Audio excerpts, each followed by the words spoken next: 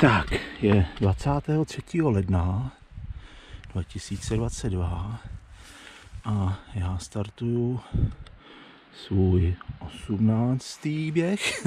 18. Dneska jsem začínám ve Stožeckém sedle, mám naplánovanou trasu poměrně krátkou, ale intenzivní a pěkně ve sněhu to bude. Začínám tady ve Stožeckém sedlo, tady Stožecké sedlo. Poběžím se podívat tady po modrý na pětikostelní kámen. Chtěl bych vylíst nahoru na Penkavčí vrch, jestli to se mi to podaří. Potom přeběhnu tady na kousek do Německa. Poběžím po hranicích. Chtěl bych tady vylíst na luž z německé strany a z české strany po ní slezu dolů na chatu luž, na myslivny a potom se vydám dolů z kopce tady parkoviště u Jána a kolem Bouzního se tady vrátím nahoru na parkoviště. Takže zhruba 13 km, není to nic moc dlouhýho, ale, ale budu to mít takovýhle. Takže parkoviště je docela plný, hodně běžkařů bude asi. Takže tam je někde rozcestí. Dobrý den. Tak, za hodiny jdu na to. Stožecké sedlo. A tady pětikostelní kámen půl kilometru. Tam bude první zastávka.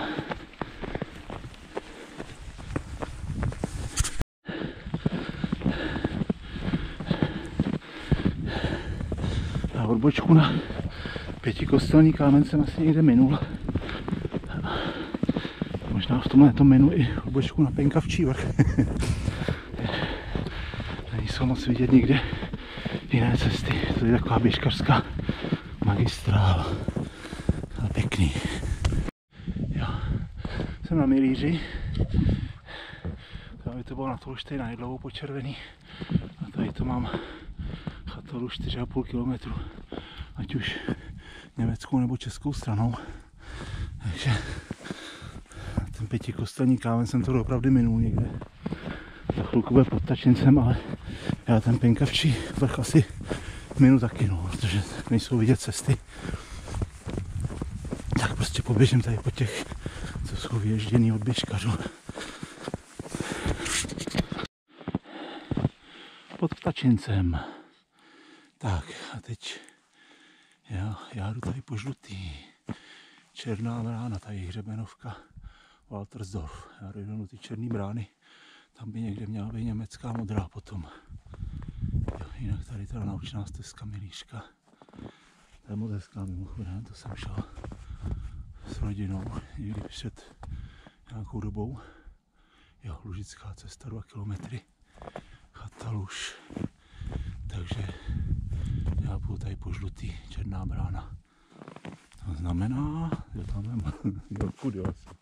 Jo, tady je modrá, tady je ta milíška a tím pádem asi tady. Podívám se, jestli tady někde uvidím značku, ale asi tady to bude ta žlutá. Tak jdu. Tak, černá brána. A jí končí žlutá česká. A, a měl si pokračovat tady dál. Kde to jsem? Jestli to najdu. Asi. Uh, uh, tady jsem. Tady. Jo. A teď já chci tady ten kousek a měl bych se dostat na modrou, jo. Jo, jo, jo. Takže tady by měla jít už německá modrá. Asi to bude tady ta cesta. Jo, snad jo. My ty značky nejsou úplně jako vidět na těch zasněžených stromech, ale neděje se nic. Je to tady krásný. Já už jsem dál od parkoviště, tak tady ku podivu ubylo běžkařů. Takže už to tady začíná být hezky. Nádhera. Takže asi tudy se ještě potom kouknu do mapy.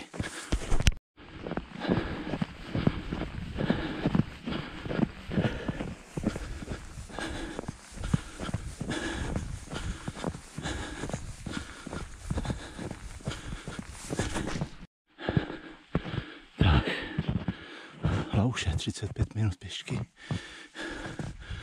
Louše je Luš. Tady by to vyšlo. Nějaká naučná stezka německá. Takže dál po německý modrý. A tady jde ještě společně s červenou českou. A tady to jde přesně po hranicích. A tam se to možná bude už dělit.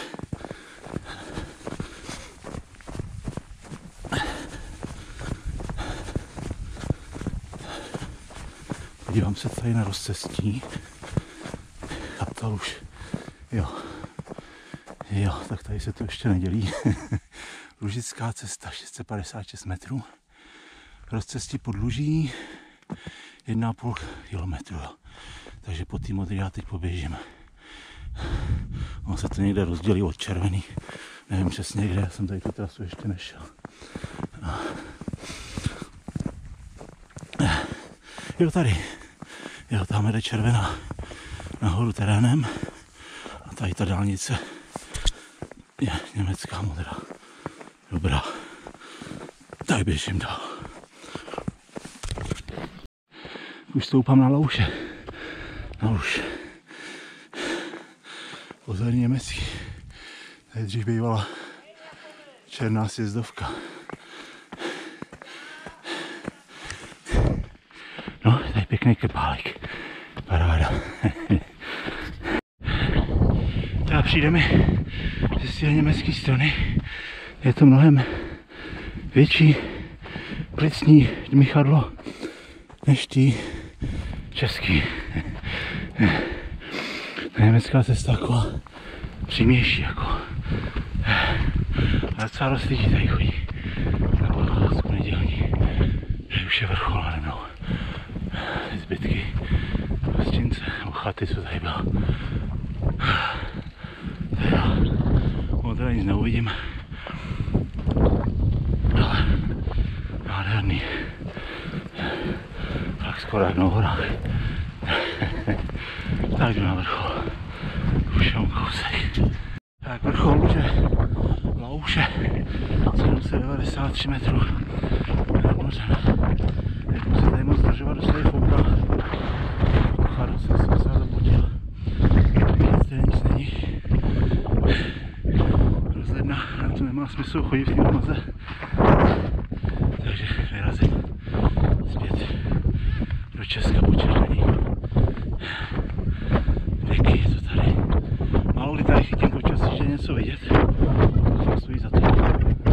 Často to tady prací maze. Ale stejně to tady stojí za to se mít. Tak, vyrazím zpátky dolů po červení. Tak, teď mě čekají tak 3 km z kopečka. Teda ne také prudký jako teď. Je tak 500 metrů a potom je to mírný sešup. Takhle to se trošku stoupání. Jo. Na té lůži já jsem se dočetl zajímavou historku, že tam byla chata, teda to není tak zajímavý, ale majitel té chaty tam měl nelegální světelný telegraf. A tím nelegálním světelným telegrafem on vysílal výsledky loterie Lotínka z Drážďan a dal směr na Prahu. Prostě nelegálně vysílal výsledky loterie. Pak na to přišli a uvěznili ho. Takže za blikání prostě z, z kopečka člověk mohl být uvězněn. Tak. Neuvěřitelný. Tak, teď takovýhle krásný sešup dolů. To se hezky užiju. Pěkně opatrně, abych se natáhl. A běžím dál směr chatalu, už až k ní teda nedoběhnu, ale... Tak. Zbíhám po žlutý. To byl teda docela takový nudný a mokrý úsek. Protože docela hluboký sníh a, a mokrý. A jsem nechtěl ničit běžkařům stopu, tak jsem se v tom brodil. Každopádně teď bych se měl vydat kam. Tady ten má silnice na lůž. Jo, tam je parkoviště u Jána. Takže já bych to měl tudyma projít kousek po silnici. A tamhle odbočka, jo, tady je odbočka k sírnému pramenu. Já se ještě na podívám, když už jsem tady. Tak, selhala mi technika, respektive baterka mi došla. Ta druhá vypadá, že teda není nabitá, ačkoliv jsem ji nabíjel, ale to je jedno. Takže na telefon. Tady sirný pramen. Já to projdu tudy.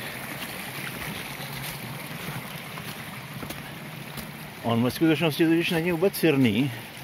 Ona prý je to jenom železitá voda a v té se daří nějaký bakterii, která tomu dává takovýhle takovouhle barvu oranžovou. K tomu povídání. Jo, tady to i píšou. Leptotrix ochraké, já vůbec nevím přečíst. tak, tady k tomu povídání. No, vrátím se zpátky na cestu a budu pokračovat dál. Máme moc kopec bouřný. Čeká si ještě dva kilometry stoupání zpátky do Stožického sedla. Jsem asi docela rád, že jsem nešel na ten pinkavčí vrch. Ten pohyb v tom sněhu je docela, docela náročný.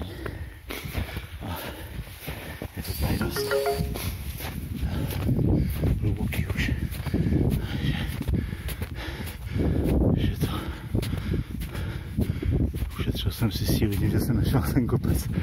Tak teď nějak obejít tady ten kopec přede mnou a nějak vybejít zpátky ve stožickém sedle. Tak teď už asi jenom jdu dál, tady neběžím.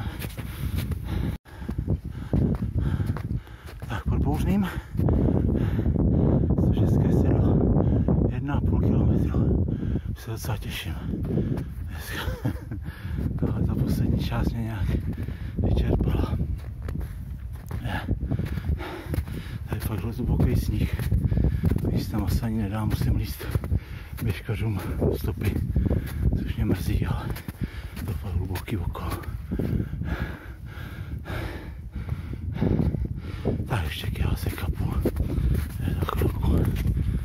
Tak jsem zpátky u parkoviště. Krásná trasa. V cíli zapomenu to na obtížnější úseky, což bylo daný jenom tím sněhem, že byl hluboký, tak prostě to je náročnější. Jinak fakt nádhera. Tady lávka. No, ale příští bych asi si dám někde víc na jihu. To tady náročnější, teď zimně s tím sněhem. Tak příště si dám třeba zase něco bez sněhu, uvidím, co najdu. Každopádně super, jsem moc rád, jsem si to proběh nějaký části té trasy, jsem musel natočit také na telefon, bohužel, moje chyba. A což ale znamená, že si ty části trasy někam zakomponuju zase do nějaký další, trošku jiný trasy, ono se jich tady dá v té oblasti naplánovat fakt hodně. A proběhnu si to částečně znovu. Fakt to stojí za to. Jsem spokojený. Tak, zase příště. Ahoj.